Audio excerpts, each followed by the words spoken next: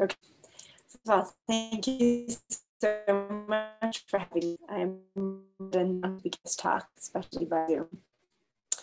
Also, I'm just going to let you know that because I wanted to talk about the, the workshop, um, so you just one of my usual talks, feel forgive me that a bunch of this is actually just big ideas. It's really slides for all of it. Okay, so I'm going to try to just talk. And the topic workshop is how to get machines to understand and interact with humans. And since this brought together computer scientists and developmental psychologists, the central idea is that to get computers to learn to understand and interact with humans, it should help us to first better understand how little humans learn to understand and interact with other humans themselves. The idea for this workshop is to know what are the big picture lessons we've learned from studying human development can be translated into designs for machines. So today, I'm going to suggest one picture lesson I think we can learn, which is fact. And then I'm going to tell you about two sets of data from my lab, which are sort of related and begin to flesh out this big idea. Okay, but so the first part of the idea. Just want to say first, this picture is not unique. Many people make questions along similar. And the version I give you today is the version that I developed with my graduate student led in a recent review. Okay, so the general idea is infants come into the world with a distinct motivation to engage with other people. They find other people more interesting, more important, and valuable than other things in the world around them. And that controls the experience from which they I'm going to try to explain what this idea means, partly by contrasting it with other ideas. Okay, so I hypothesize that very early emerging motivation to pay special attention to other people affects everything about infant experience in the world.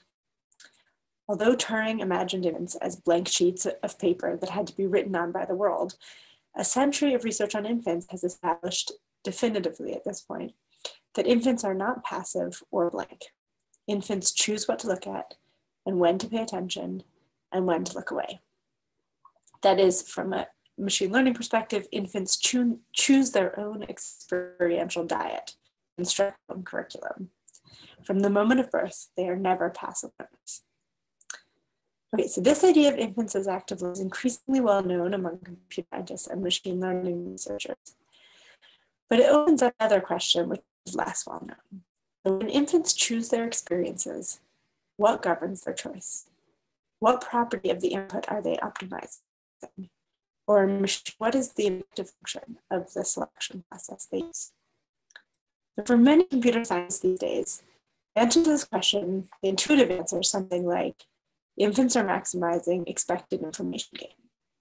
The idea is that infants are driven to know as much as possible about the world. And the active compulsively drive as much as possible about the world to predict the next experience.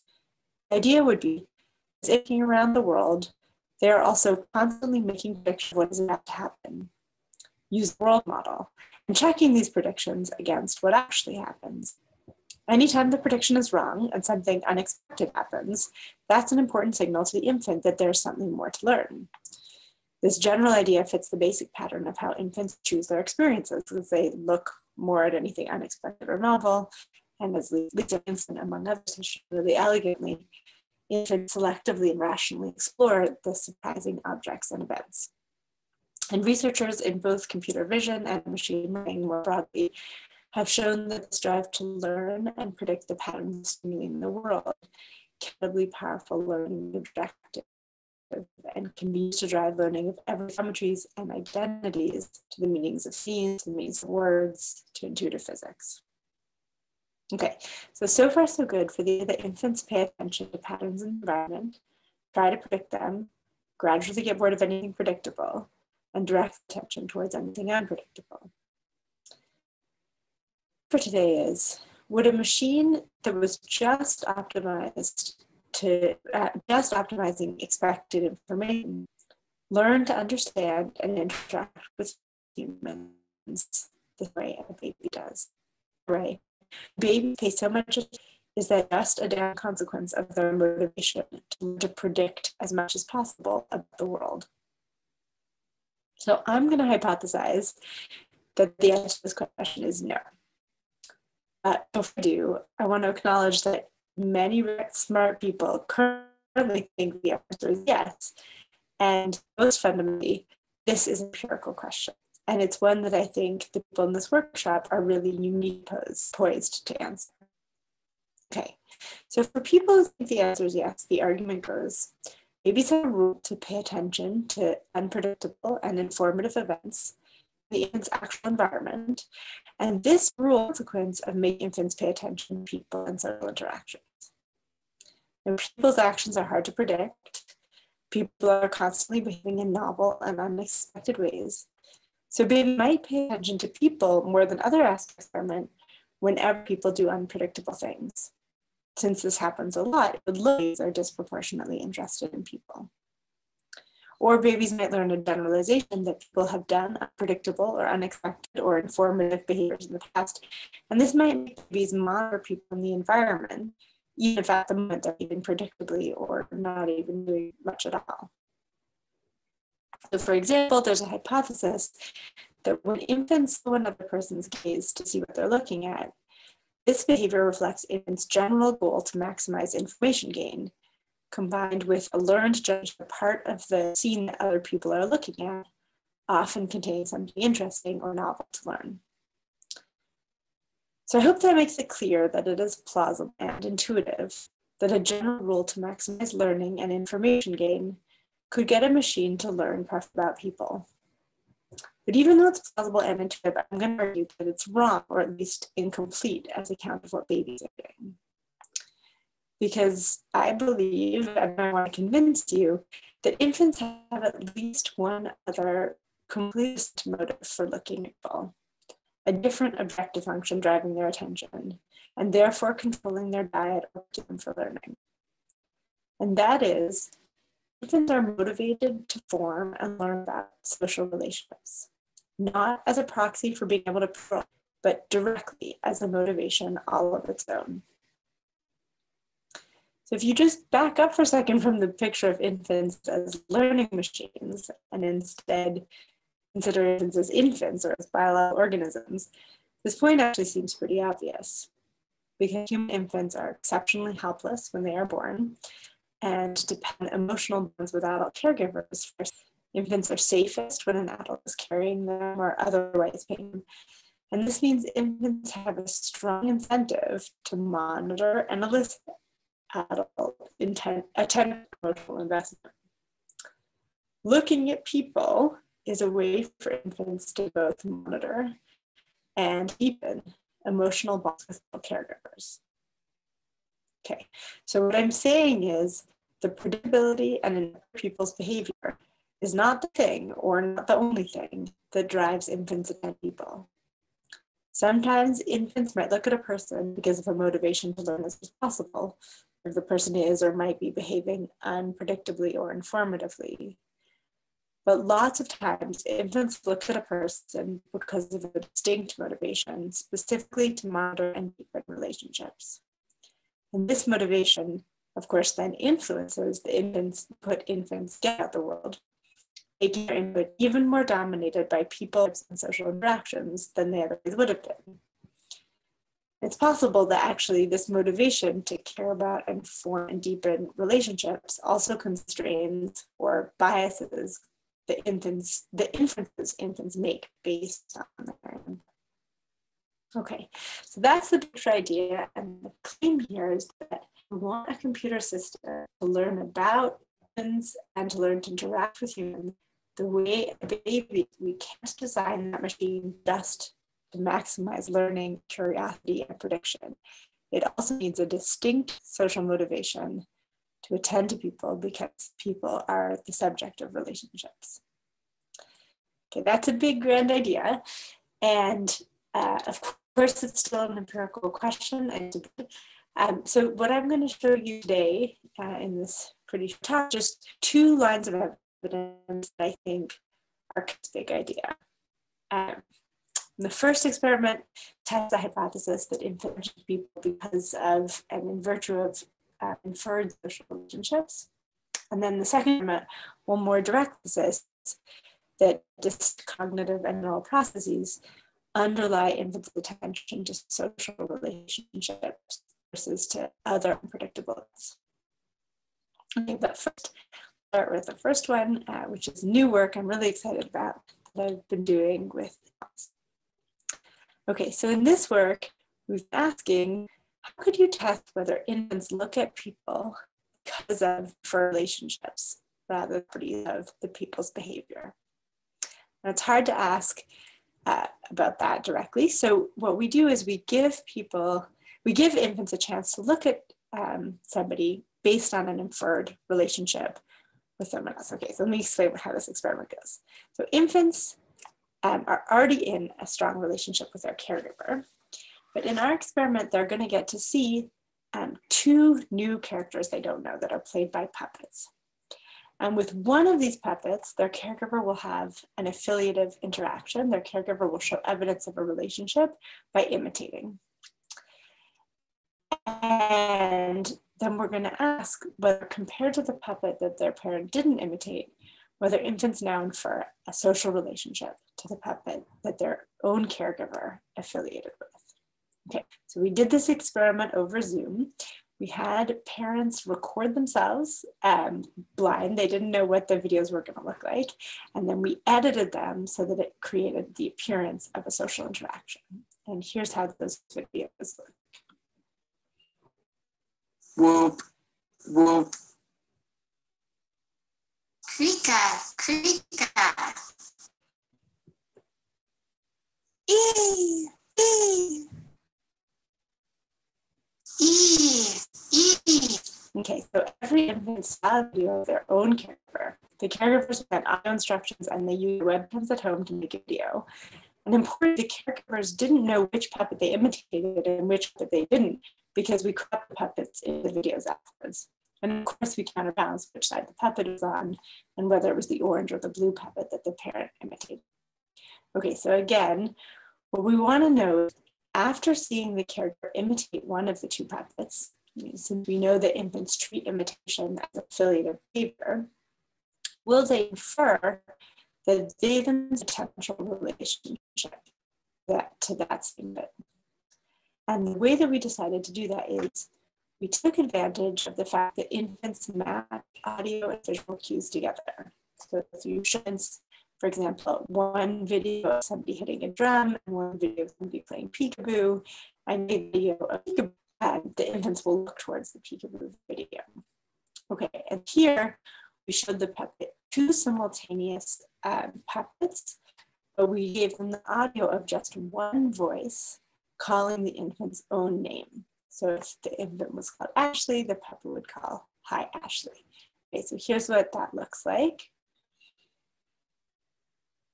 Hi, Zifa. Hi. Hi. Okay, so both puppets move them simultaneously, and only one voice calls to the infant and uses the infant's name. And the thing we measure is which puppet the infant looks towards while hearing that voice.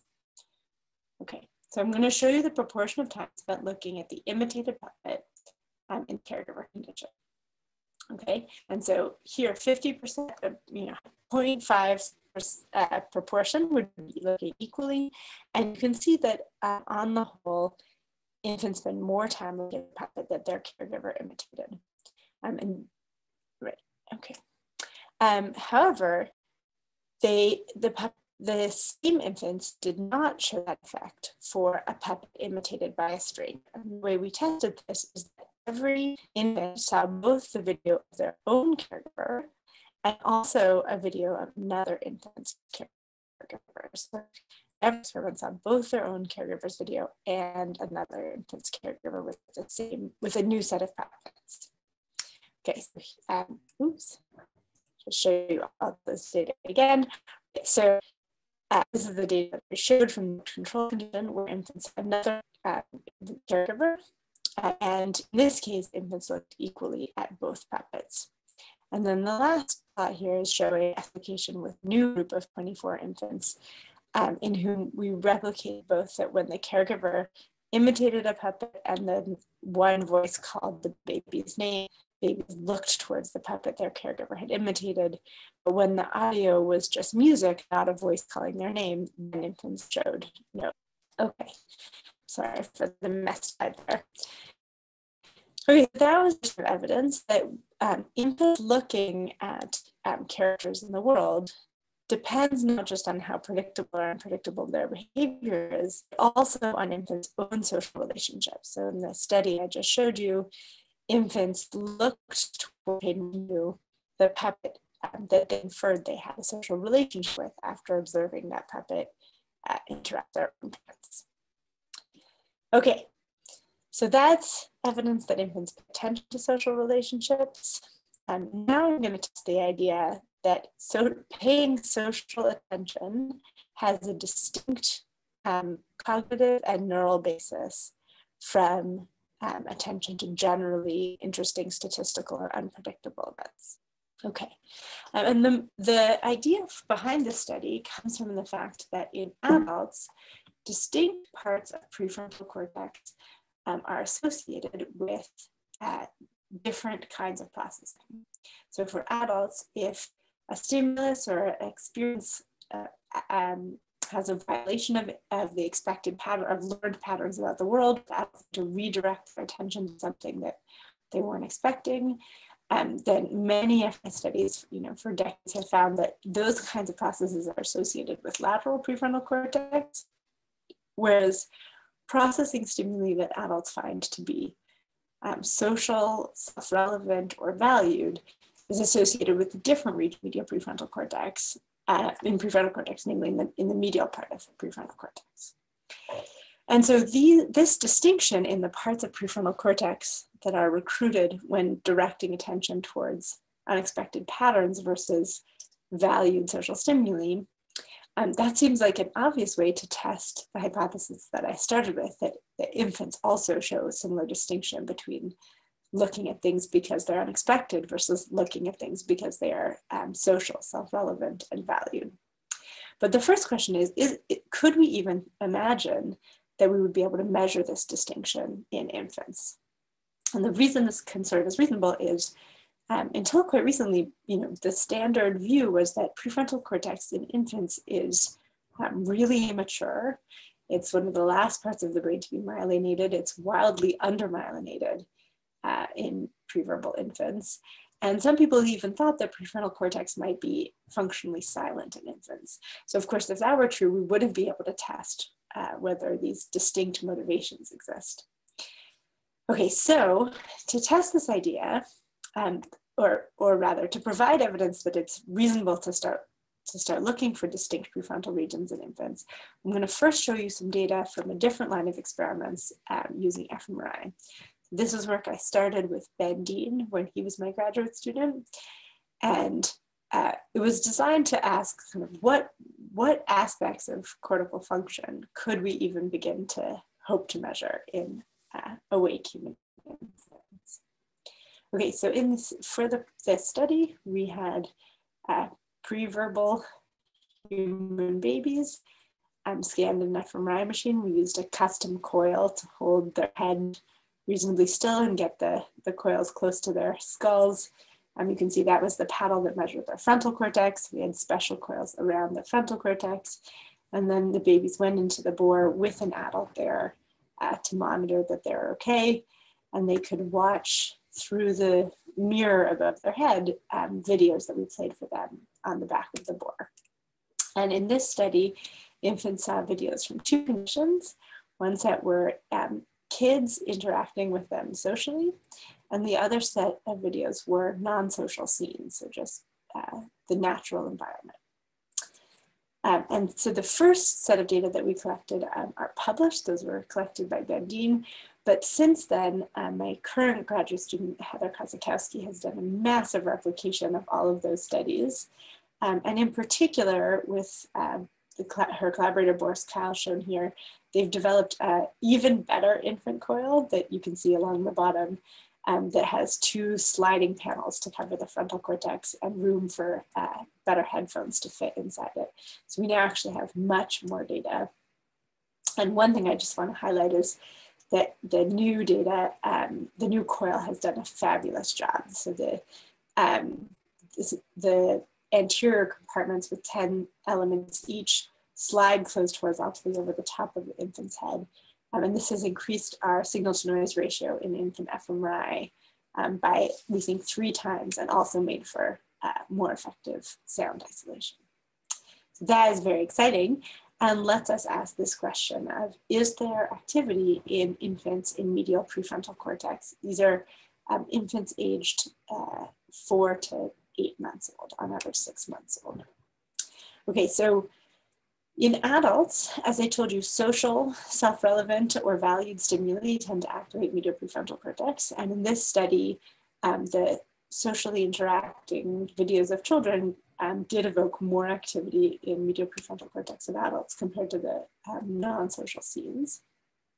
Um, so in Ben Deen's data set, the published data set, we could look um, at the same pattern of activation in six, or the same question in six children. And he found that um, in these six infants, there was um, the same pattern, so activity in medial prefrontal cortex, more for looking at faces than for looking at scenes. Um, six maybe seemed like a lot at the time, but actually Heather has heroically collected uh, way more data in the years since then. Um, so she collected 23 um, kids scanned on the, um, the original coil, the same one that Ben uh, was using, and another 23 babies, also between two and 10 months, um, on this uh, amazing new coil. Um, and combining data from all of those infants from anyone in whom we had enough data to do a region of interest analysis, so to identify voxels in medial prefrontal cortex in one set of data and measure its activity in a left out data set, so that was 30 infants aged 2 to 10 months old. Looking in those infants, we can see in medial prefrontal cortex a highly selective response to faces um, in infants. Okay, so that was pretty amazing, especially if you thought prefrontal cortex might be functionally silent in babies. Um, but it also is good news for the question that we're trying to talk about today, because if prefrontal cortex is functionally active in babies, and in particular, if medial prefrontal cortex has functions that are similar to those in adults, then maybe we could measure we could measure the same dissociation between prefrontal regions in babies to test the hypothesis that babies looking towards social stimuli is driven by a different mechanism than they're looking towards other unexpected events. Okay, so to test that hypothesis in work with Lindsey Powell, we used functional near infrared spectroscopy, which is a different neuroimaging tool that measures a signal very similar to that of fMRI, blood oxygenation changes in the baby's cortex. But it, uses, it measures this using a lightweight cap that wraps around the baby's prefrontal cortex while the baby sits on their parent's lap um, watching the stimuli. Okay, so we can use this tool to test whether the similar divisions that we see in adults are also explained in infants looking. So to start with, I told you that in adults, lateral prefrontal cortex is associated with um, directing attention towards violations of learned statistics. Um, so we wanted to test whether the same thing is true in babies. And to do this, we first exposed them to videos of people, of one person, so they saw one speaker, speaking a stream of nonsense syllables, but that had in it the kind of statistical structure that we think infants this age can learn. So anytime the baby heard the syllable mu, it was always followed by fa. So mu fa. Um, gay was always followed by na. So mu fa, gay na, gay na, mu fa, right? And we know from tons of previous research by Jenny Saffran and Dick Aslin and many other people that after a few minutes of exposure to this kind of statistical structure, infants learn the structure and begin to predict it, which means that now, if you give them um, a violation of that learned structure, so if, if one speech stream, they hear a speech stream that has a violation like na whoa, na whoa, um, where whoa was always followed by C, right? So so WONA is a, a, sequence they never heard before, compared to a sequence they did hear before, GAINA, um, the infants will look longer to the sequence that violates their learned statistics. Okay, so here, our hypothesis is that like adults, it will be activity in lateral prefrontal cortex that predicts um, infants greater looking to violations of learned statistics. So to measure that, we measured activity in um, lateral prefrontal cortex while infants were first exposed to the statistical speech. And we compared it to a repeated control condition where there was no statistics to learn. So a different speaker who every time she said a syllable, she just said the same syllable over and over and over again. Um, and this let us measure the activity in lateral prefrontal cortex specific to hearing, the to learning and encoding the statistical structure in the first place. Okay, and in lateral prefrontal cortex, we found that on the whole, there was a small um, increase in activity during the statistical speech compared to the, um, the repeating control. But the key prediction is that the amount of activity would predict the um, looking towards stimuli that violate the learned statistic. Um, and so the way we tested this hypothesis is we looked at individual differences. So for each baby, I'm going to show you on the x-axis how active their lateral prefrontal cortex was while they were being initially exposed to the statistical structure. And then on the y-axis, how much longer they looked at the stimulus that violated their expectations. Okay, and you can see that those two things were um, very correlated. So more activity in lateral prefrontal cortex was very correlated with um, more looking at the stimuli that violated their predictions. Okay, so that is one region of, media, of prefrontal cortex that seems to have a function similar to that in adults and that predicts infants' choice of where to look. Okay, what about medial prefrontal cortex? So here we use the same control condition as before, the um, person just saying a stream of nonsense syllables, um, but we compared that to um, another speaker who also repeated nonsense syllables.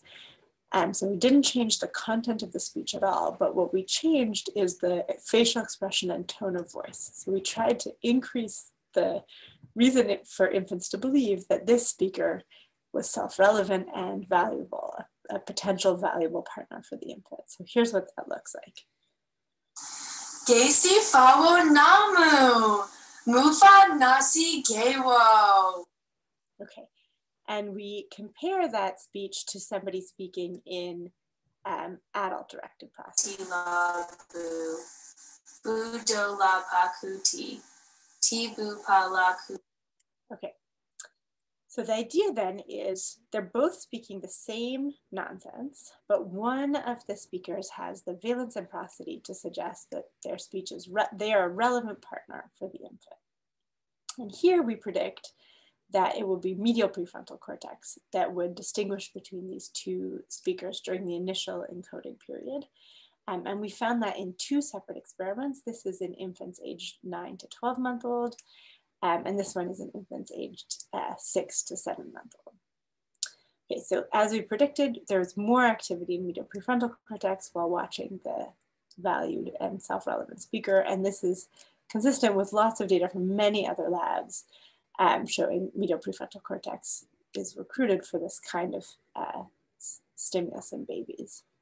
But here's the key prediction, right? So the idea here is social value is a different reason babies might have to look at something in the world. So to test that after they had been exposed to the speech, we then showed the babies the two speakers side by side and both were silent. And then we asked, how much did infants look at the two speakers? And um, so combining the data from, from all sets of experiments from the six to 12 month olds, I'll now show you for each baby how much activity they had in medial prefrontal cortex when they first saw the two speakers on the x-axis, and then on the y-axis, how much did they prefer to look at the infant-directed speaker in the silent preference test. And again, uh, those two are super correlated. Okay, so as I hope is clear, the overall design of this study was to try to let us test the hypothesis that there is a dissociation in the underlying cognitive and neural mechanisms that predict uh, infants' endogenous attention or choice of where to look. So when infants are learning to predict the statistical structure of the world, they're encoding that in lateral prefrontal cortex, and that will predict looking to violations of the expected stimuli. But when what they're doing is recognizing a potentially valuable social partner, then a different region, medial prefrontal cortex, is recruited, and um, that will predict subsequent preferential looking to that speaker. So that was the prediction. And we tested this in a group of six and seven month old infants who were randomly assigned to one of these two experiments. They were recruited simultaneously and then randomly assigned either to, so they all had the same adult directed non statistical control condition, but they were randomly assigned to the experimental condition being either the infant directed speaker or the statistical speaker.